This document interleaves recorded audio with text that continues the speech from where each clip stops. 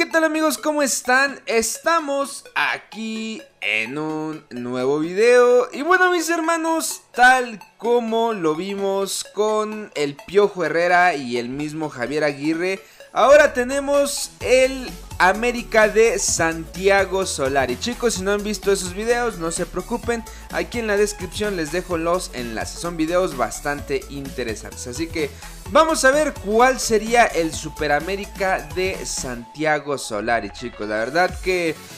Eh, tuvimos que investigar mucho, hay muchos nombres que suenan, hay algunos que también pues ya están prácticamente de salida, como es el caso de Giovanni Dos Santos, a Benedetti, otro jugador que saldría, eh, Nico Castillo. Vamos a ver chicos cuáles son los refuerzos que quiere Solari para su Super América que quiere armar. Y bueno, la verdad que son bastantes, aunque hay que decir que eh, en mi punto de vista personal yo creo que solamente sería uno en el caso de los centrocampistas. Miren, tenemos el que ya sonó desde hace algún tiempo. Estamos hablando de Arturo Vidal. Se comenta que el jugador chileno pues eh, le interesa, le interesa jugar en el América.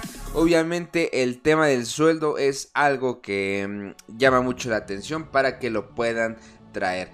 Otro jugador, en dado caso de que Vidal no se arme, es sin duda alguna el centrocampista de Santos Gorriarán. Un contención bastante top, es finalista de la Liga MX. Eh, igualmente se hablaba del trueque entre Royal Martínez Cristian Pavón. No hicimos ese cambio porque Pavón de momento no aparece en el FIFA. Desde enero fue eliminado. Creo que se había ido a la MLS o algo así. Y después no se sabe qué pasó con él dentro del FIFA. En la vida real creo que está en Argentina. Pero en el FIFA no aparece.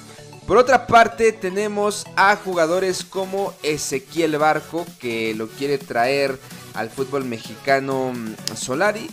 Tenemos un jugador que empezó a sonar muy recientemente, el Mudo Aguirre. Como saben, pues están desprendiendo de varios jugadores y el único delantero mexicano con el que cuentan es Henry Martin. Entonces ya le pusieron la mira al Mudo Aguirre, que por cierto en la última actualización de plantillas ya subió a 80 de potencial. Tenemos a Reyes, que ya está prácticamente cerrado, jugador de Puebla. Eh, tenemos a Madrigal, jugador de Querétaro, que ayer lo anunciaron. Y otro que está sonando es el brasileño Doria, que viene prácticamente de Santos Laguna. Entonces, quiere desarmar, más bien se quiere ir a sus fuerzas básicas en América para reforzarse para el siguiente torneo. Ya hablamos de los jugadores que estarían saliendo. Eh, hay otro jugador oficial que, que, ya está aquí contemplado, es el de Miguel Ayun. Así que déjenlo meto en el equipo. Vamos a ficharlo y ahorita armamos el 11 de lujo del América. Estamos de regreso mis cracks y la verdad que hay que decirlo quedaría un auténtico equipazo hermanos. Igualmente ahorita traté de basarme un poquito en las valoraciones. Yo sé que habría jugadores que eh, deberían de estar de titular, por ejemplo Roger Martínez por Henry y tal vez Fidalgo por Suárez. Así más o menos es como yo considero que en la vida real, si llegara a tener estos refuerzos, es como podría llegar a quedar. Pero pues aquí como es el FIFA, las valoraciones importan, nos hemos enfocado más en los jugadores que tienen la mejor valoración. Así que delantero Henry Martin, le hemos hecho cambio de posición a Córdoba y ojo porque con el cambio de posición Córdoba te sube un punto, sube a 77 de media. Barco por izquierda, Suárez por derecha. En el medio campo los fichajes Bomba, Gorriarán y Vidal. Abajo tendríamos a Layun como lateral izquierdo, Doria, Bruno Valdés, Jorge Sánchez y Memo Ochoa. En la banca, miren, esta banca de lujo, Roger, eh, el Mudo Aguirre, Federico Viñas, Fidalgo, Cáceres, el nuevo fichaje Reyes. Eh, tendríamos un jugador de la talla de aquí, o sea, sería una auténtica locura. Aunque yo me imagino que o sería Gorriarán o sería Vidal. Entonces este sería el jugador titular. Y este no estaría en el equipo. Y me imagino que en la banca pues tendrían a un jugador como Naveda que viene creciendo de forma fantástica. O tal vez el nuevo fichaje Madrigal. Aunque la verdad no, no, no, no le tengo yo, no sé por qué mucha confianza a este jugador. Así que eh, dejen desactivo las notificaciones chicos para que no nos anden llegando eh, a cada ratito. Así que bueno mis hermanos, ya ahora sí, vamos a ver cómo le va a este Super América. Creen que llegue a romperla? Vuelvo a repetir, hay jugadores que todavía nos faltó sacar, como Escobosa que ya se fue a Querétaro, Sánchez que podría salir, se comenta que el Piojo quiere ir con todo por él, lo ve como su descubrimiento y lo quiere llevar a los Tigres. Así que vamos a simular chicos unas temporadas, vamos a ver cómo le va a este América. Vamos a simular dos semestres, dos semestres y veamos si le va de buena forma al Super América de Santiago Solari. Bueno mis hermanos, ya estamos de regreso. Hemos visto que el América clasificó, pero me llama la atención que no clasificó entre los primeros cuatro porque se fue a repechaje contra Pueblo. Entonces, Vamos a ver qué pasó con este Super América porque eh, por lo que estamos viendo no le fue de la mejor forma. Vamos a, a ver la apertura, aquí está, a ver. De entrada no quedó como super líder, no arrasó con esos refuerzos, quedó en sexto lugar eh, yo, yo lo veía, la verdad, entre los primeros tres por lo menos, incluso tal vez arrasando, pero bueno. Eh, 8 victorias, 4 empates y 5 derrotas. Estuvo muy parejo, o sea, estuvo muy cerca, por ejemplo, de Cruz Azul, de Tigres, pero, híjole, creo que se le, se le va a complicar un poquito esto a la América. Vamos este, a ver, en ronda de eliminatorias, Tijuana se despachó a Rayados, Cruz Azul a Toluca, América Puebla y Atlas a Mazatlán. Cuartos de final Atlas León, Tijuana Guadalajara, América Pumas y Cruz Azul contra Tigres. Ojo con el rebaño porque quedó segundo, o sea, se quedó un punto de ser super líder. Bueno, a dos. Por diferencia de goles, León hubiera sido super líder. Así que Vámonos mis cracks, vamos a simular la liguilla, vamos a ver cómo le fue y después estaremos checando las estadísticas de estos jugadores. Vamos a ver si se pueden proclamar campeones, la liguilla es un torneo completamente diferente, le ganan 2 a 0 a Pumas en la ida. Vamos a ver en la vuelta, yo creo que también van a ganar 1-0. Se van a enfrentar al superlíder León. Vamos a ver. Vamos a ver qué pasa, chicos. León contra América, empate, se empieza a complicar esto, tiene que ganar el América sí o sí, o se pierde la gran final del fútbol mexicano. Llega la final del fútbol mexicano y se va a enfrentar a su antiguo director técnico. Yo creo que aquí podríamos hacer una simulación porque esto va a ser algo épico y tienen que remontar un 3 a 0 de la ida. Vamos a ver si el piojismo le, le gana al solarismo, así como le llaman. Hay mucho, mucha afición americanista dividida, hermanos. Hay muchísima, muchísima afición dividida. Vamos a, a simular este partido en tiempo real. Vemos que están exactamente los mismos jugadores. Em, a ver, Henry, Córdoba, Vidal, ok, perfecto. Están los mismos de siempre. Así que no debería de haber ningún problema. A ver, ya empezaron a crecer algunos otros. Vamos a darle, hermanos. Vamos a ver esta final en tiempo real. Creo que, se va a poner bastante interesante. Vamos a ver si el solarismo puede contra el piojismo. El piojo ya aparece en la última actualización como... Eh, este, ¿Cómo se podrá decir? Pues como director técnico de los Tigres. Así que eh, real si es un Solari contra Piojo Herrera. Vamos a ver. Vamos a ver, mis cracks, qué pasa en esta final. El árbitro que inicia el partido y nos ponemos las pilas. Un placer, como siempre, estar junto a Mario Quimpes. Este partido pinta bueno. Esto puede terminar en gol. ¡Gol! Se abrió el marcador nomás. Siéntense, señores. No se levanten, no lo griten. Y así le pega la pelota. ¡Mamita, qué golazo!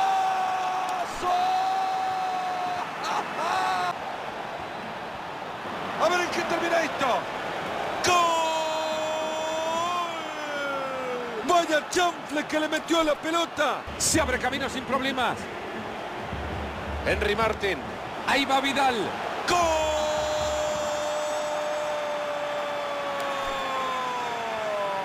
Fuser. Se dieron la bocha. Se.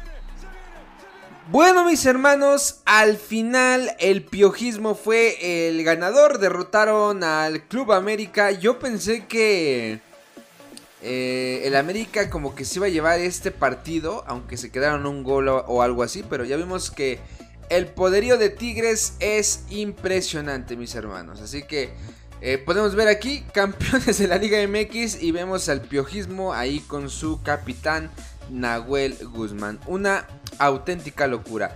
Vamos a ver las estadísticas de los jugadores, pero ¿qué les parece si las vemos al final? Arturo Vidal fue nombrado el MVP del torneo. Mis hermanos, ya andamos de regreso. En esta ocasión, el América ha entrado directo a la fiesta grande. Vamos a, a poner de una vez todo el torneo para que al final pues ya tengamos un poquito más de tiempo para ver estadísticas y que este video no sea tan largo para ustedes. Así que entraron a la liguilla, se enfrentan a Tijuana, han ganado 1 por 0, creo que bastante bien para el América. El partido de local lo pierden. Y el América queda eliminado, hermanos. El América queda eliminado en cuartos de final. Parece ser que el solarismo se, ha quedado fuera. Una lástima, una lástima la verdad, cracks. Una lástima que no hubiera podido llegar un poquito más lejos. Pintaba para que este torneo fueran campeones. Digo, entraron directamente a la liguilla. Ahorita estaremos viendo los números. Pero, híjoles, los cholos se los despacharon, hermanos. Así que vamos a ver. Este es el tercer experimento que hacemos de estos equipos. Si en los comentarios quieren que hagamos con algún otro club, pues háganoslo saber. Vamos a ver qué pasó, mis hermanos. Este es el, el apertura. Vamos a ver.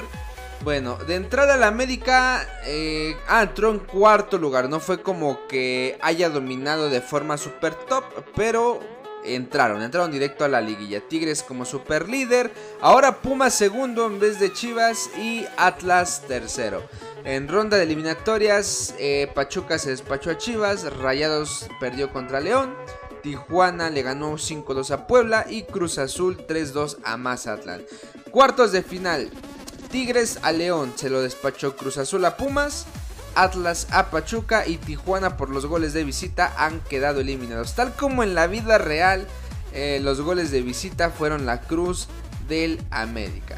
Semifinales, chicos. Cruz Azul Tigres ganó Tigres y Tijuana se despachó al Atlas. Vamos a ver si Tijuana le pudo ganar a Tigres en la final. Y no, el campeón fue Tigres, fue este bicampeón del fútbol mexicano. El piojismo ha sido subcampeón, hermanos. Vamos a ver las estadísticas de los nuevos jugadores de Club América. Vamos a ver si por lo menos lo hicieron bien. Ya vimos que en la temporada pasada el MVP, sin duda alguna, fue eh, este... Eh, ya se me fue hasta su nombre. Eh, fue Arturo Vidal la temporada pasada. Así que vamos a ver qué pasó. Miguel Ayun, 16 partidos, no jugó mucho. Eh, vamos a ver, Goriarán, 34 partidos y un gol. Bueno, fue de los jugadores más regulares. Fidalgo sí jugó al final, jugó 23 partidos, 4 goles. Barco parece ser que se fue, pero ojo con Arturo Vidal, hermanos. En el apertura 24 partidos, 11 goles, 5 asistencias. En el clausura 11 goles y 3 asistencias. 22 goles y 8 asistencias lo de Arturo Vidal. Para ser centrocampista, una auténtica locura. Em, por ahí Suárez también fue de los buenos. Córdoba también. Henry. Eh, no, pues es que con estos, con estos delanteros, hermanos, ¿cómo quieren? ¿Cómo quieren ser campeones? Henry Martin, 41 partidos, 5 goles, anotó solamente un gol en el clausura. Por otra parte, Roger, otro jugador, un gol, no puede ser. El Mudo Aguirre jugó menos, pero se llevó un golecito. Entonces, pues podemos ver que jugadores como Viñas también se terminaron yendo del club. Se fue Barco, se fueron varios, varios jugadores del club. Al final no confiaron en el solarismo y se terminaron yendo. Así que pues bueno mis hermanos, hasta aquí el video de hoy. Por favor no olviden dejar su like, no olviden suscribirse. Nos vemos en el siguiente video. Hasta la próxima.